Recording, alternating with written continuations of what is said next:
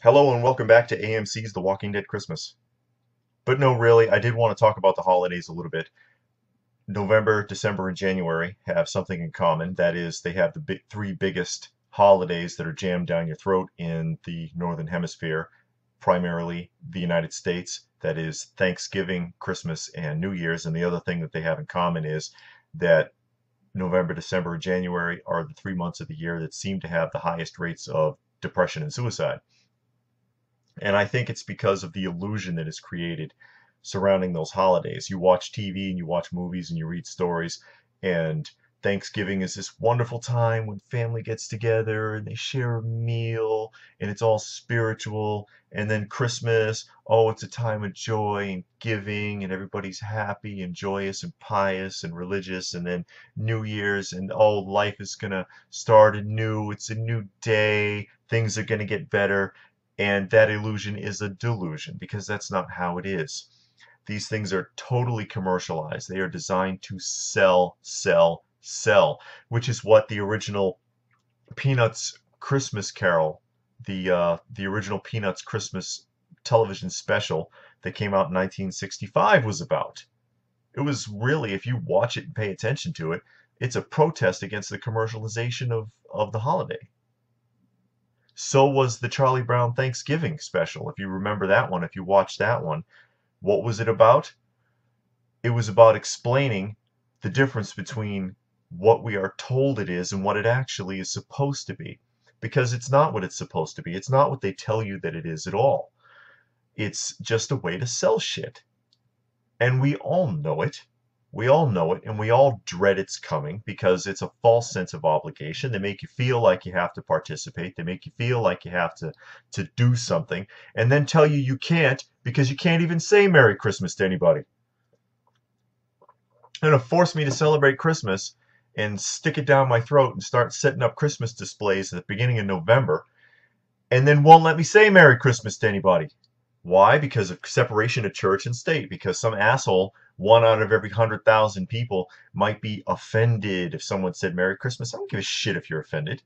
Why should I care if you're offended? You offend me. I'm offended by all kinds of stuff. And, you know, I can sit here and complain about it, and that's fine because everybody's entitled to their opinion. But I'm not going to run around and try to stop anybody from doing whatever it is that they do on those holidays or any other time because I don't care. Why have you got to stick your nose in it? It's bad enough that the holidays are fake, anyways. They're fake. Thanksgiving is based on a lie. New Year's doesn't really matter.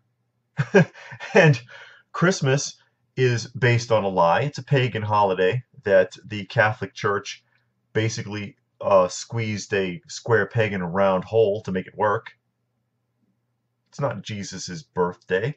Most uh, Christians and Catholics and other related religions know this. But they celebrate it anyway. And they can enjoy it if they're capable of it. I don't know how anybody is because it is so fake and because it is so forced. You know, I, I've asked a lot of people about that. And it was like, oh, how was your holiday? Do you want the truth? Not really. Nobody really wants to know because it was miserable.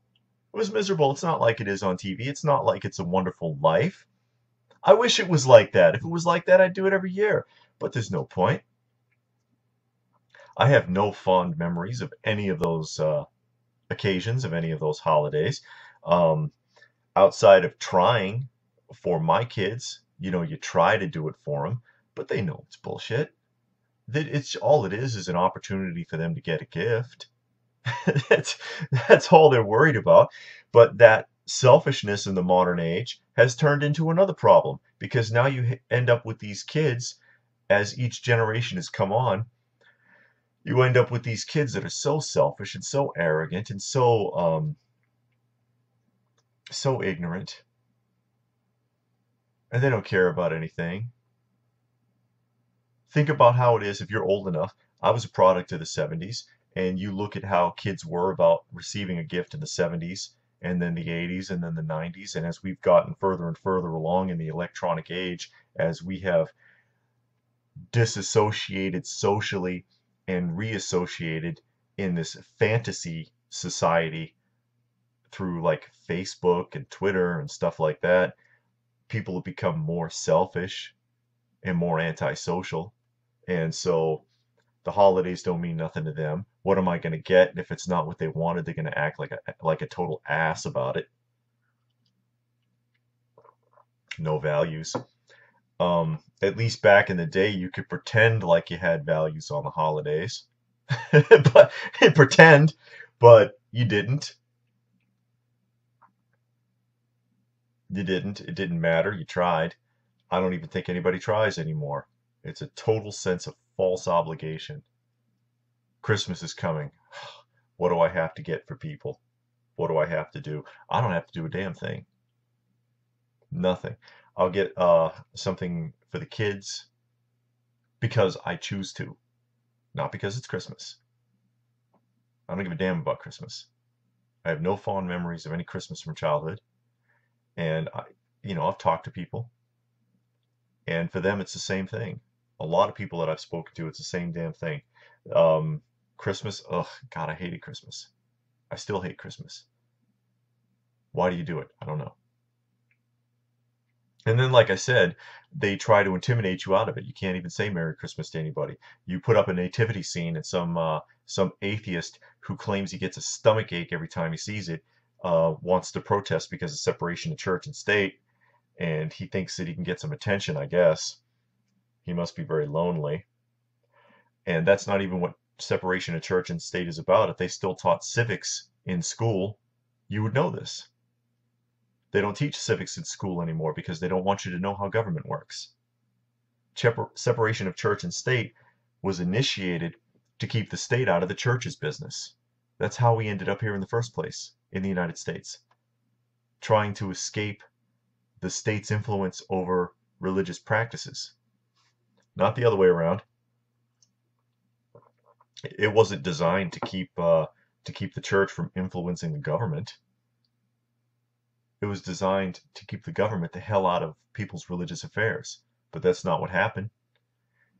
Uh, um, and it started with public school, of course, the evil institution, and has uh, snowballed and gotten worse and worse every year ever since really like the mid 60s, if I remember correctly the mid 60s with the first case about uh, separating religious practices from public schools uh, in New York. Um, but I, I can go on and on about that, believe me. Uh, I should probably do a video on it.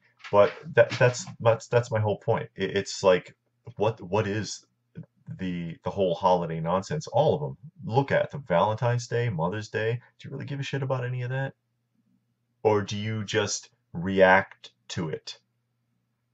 You react to it because you feel like you're expected to, or because, like I said, some false sense of obligation surrounding the holiday. I'm tired of it. I'm tired of it. Uh, retail giants can earn their money some other way.